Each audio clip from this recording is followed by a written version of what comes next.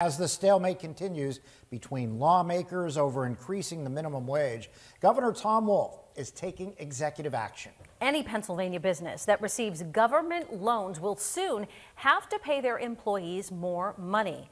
Tonight, Jamison Hixenbaugh joins us here in the studio. Jamison, you have a closer look at this legislation, its potential impact, and the amount of money that employers will have to pay. That's right, Eva. Governor Wolf describes the current minimum wage of $7.25 an hour as embarrassing.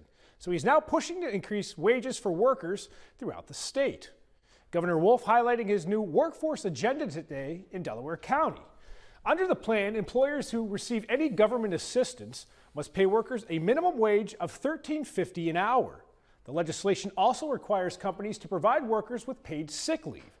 Jesri Friend of the Manufacturer and Business Association says many businesses have reached out to him to express concern. He describes Wolf's plan as disingenuous, doing little to address the worker shortage in Pennsylvania. At a time when the governor says this is going to help economic growth, uh, people will just get back to work if they were just paid a higher wage his bluff has been called.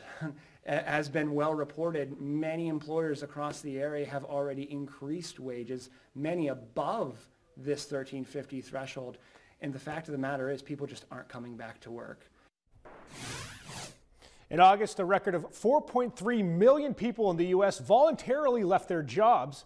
And Governor Wolf says the legislation aims to make Pennsylvania a place where people actually want to work.